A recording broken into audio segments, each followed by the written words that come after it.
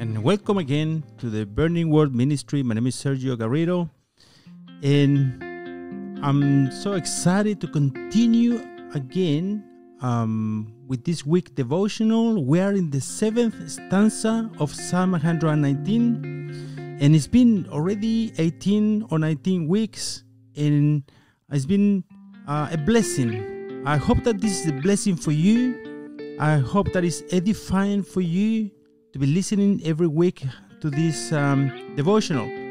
And we are going, uh, as I said, on the seventh stanza of uh, Psalm 119. And what a beautiful psalm, right? Um, and we know that all psalms are beautiful. And we mentioned earlier that the book of Psalms was a long term project.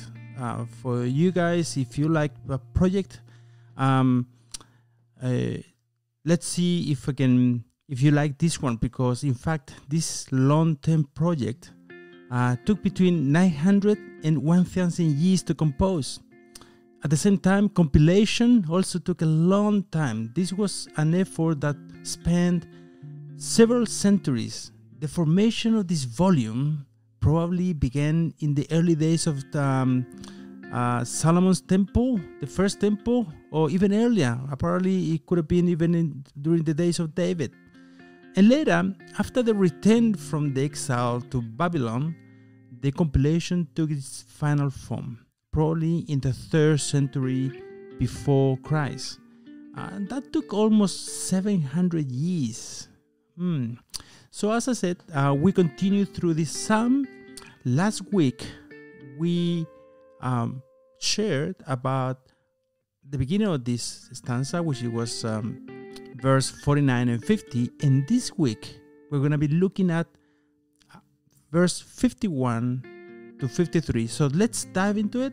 Um, verse 51 it says, The arrogant utterly deride me, yet I do not turn aside from your law. I have remembered your ordinances from old. O Lord, and comfort myself. Burning indignation has seized me because of the wicked who forsake your law. In the same way as uh, the previous stanza, one of the, our previous stanza, I think it was um, stanza number five, um, which the title, the, the Hebrew letter was He. The psalmist is the victim again of ridicule and reproach from the proud because of his, uh, his passion and his commitment, his love to the Word of God. Interestingly, we know that every situation in our lives is caused or allowed by God. It's either caused or it's allowed. And there are situations that God allows in our lives um, this kind of um, reproach or this kind of uh, ridicule. Um, and the intention is because he wants to fulfill his purpose in us. Strangely enough, right? Um, but he knows that sometimes opposition and adversity produce growth and maturity. When we face mockery, unjustified criticism, criticism accusations, injustice, antagonism um, of the proud or, or the arrogant, we face it in prayer. That's that's how the Lord wants us to face this situation on our knees, uh, in seeking the Lord in His Word. This is how our light shines in the darkness of this world. Uh, sometimes in this type of situation, we might be tempted to respond uh, in the same way that we have been exposed to ridicule, right? Uh, we might be tempted to answer back angrily, right? But the Lord, uh, through His Word, tell us, you know, about being angry, anger, put it to death. That's what uh, the uh, Apostle Paul says in the book of Colossians, right? Chapter 3, you know, put to death all anger, right? So we what we need is really to bring all these things on our knees, bring it to pray, right? Because sometimes you don't know what impact you could be causing in the person that is uh, doing this to you, right? And and the second part of this line, um, the second part of this verse is, Yet I do not turn aside from your law.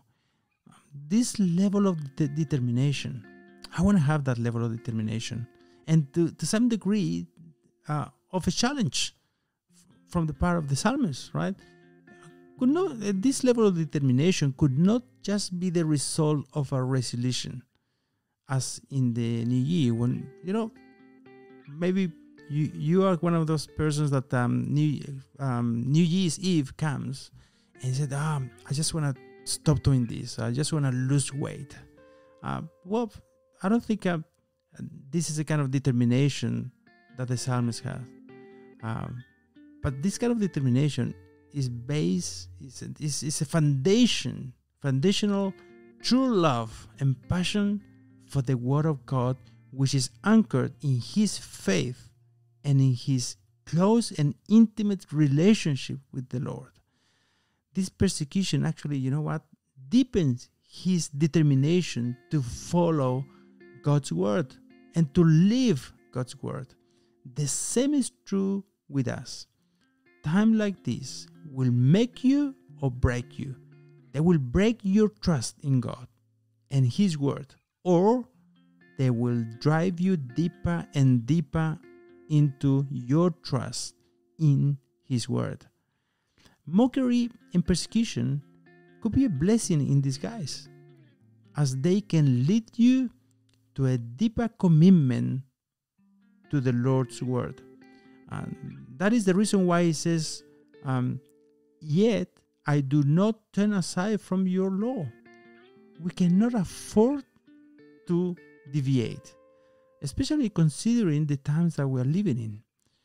We need to really decide today and never forget that no matter what we are told or what is against us, we our heart, my heart belongs to the Lord, and even if I am the only one who defends the truth of God, I will not turn aside from the word of God. And in verse 52, it says, I have remembered your ordinances from old, O Lord, and comfort myself. Meditating, inclining our own heart, remembering God's word are all intentional actions of those who love the Lord. We choose to do so.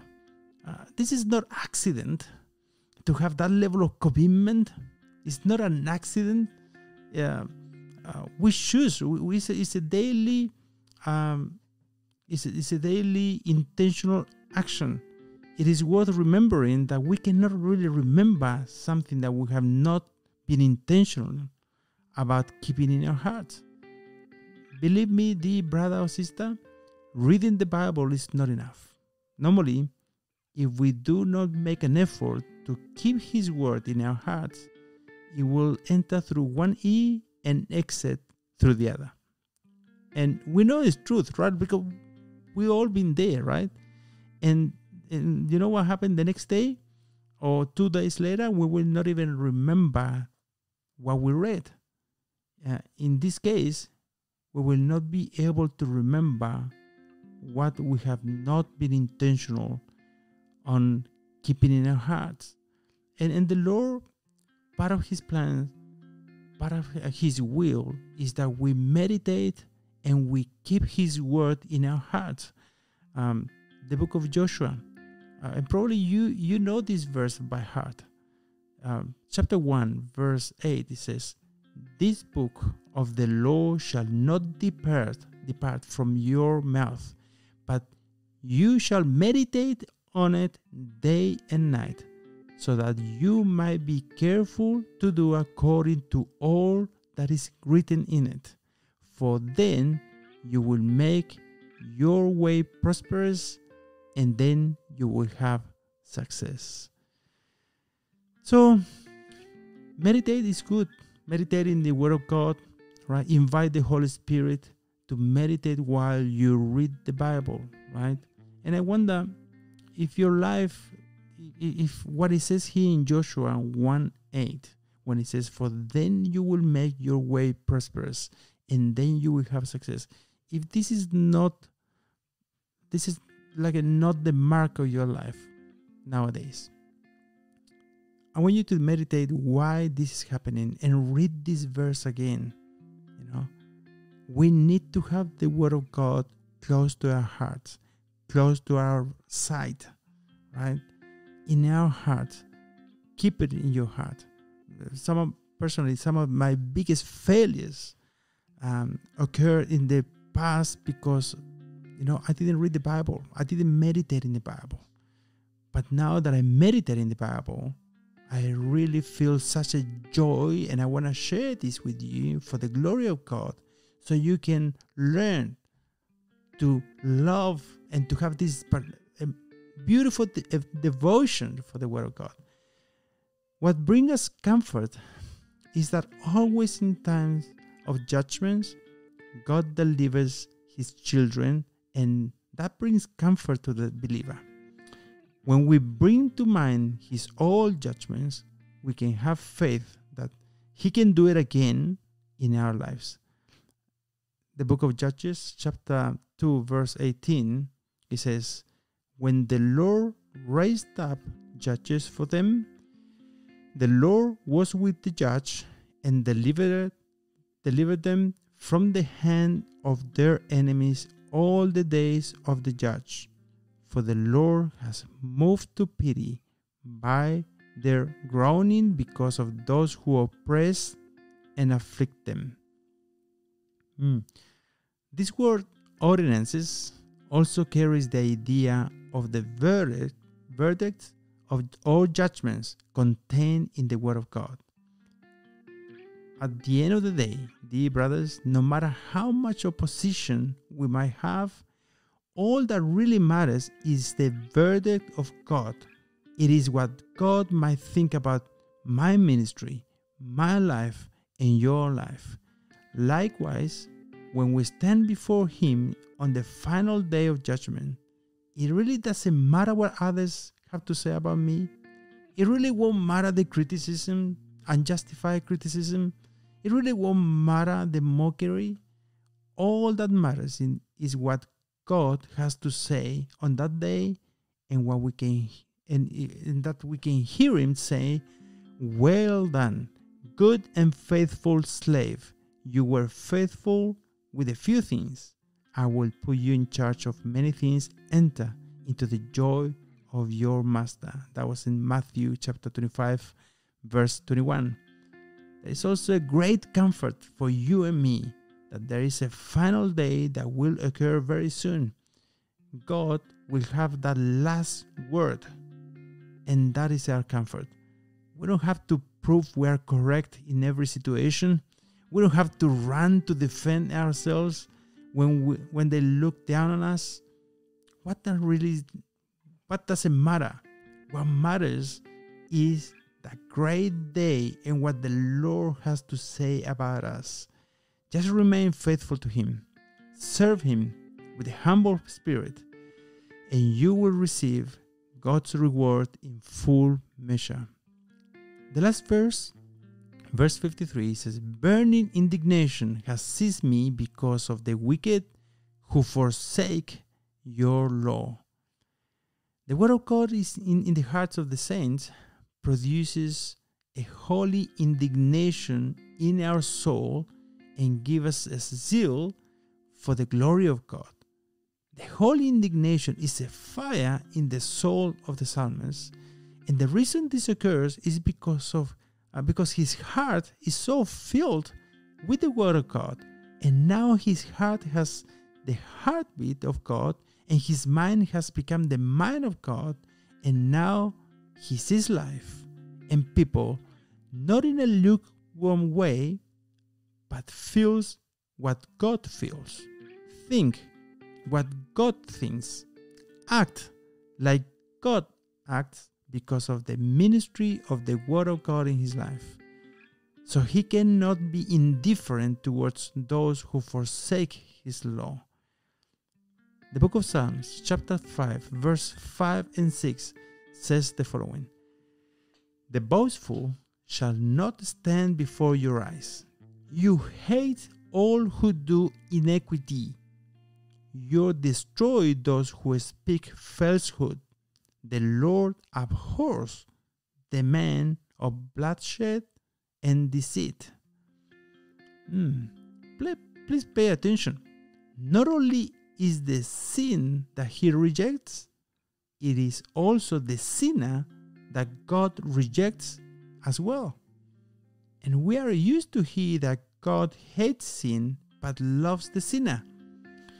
He he tells us that God hates sin and that his holy indignation is kindled against the sinner who is under the wrath of God.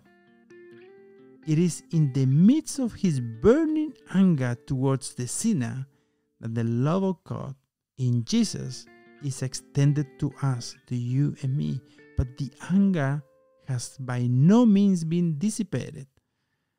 And one more verse in the same book, Psalm chapter 7, verse 11, it says, God is a righteous judge and a God who has indignation every day.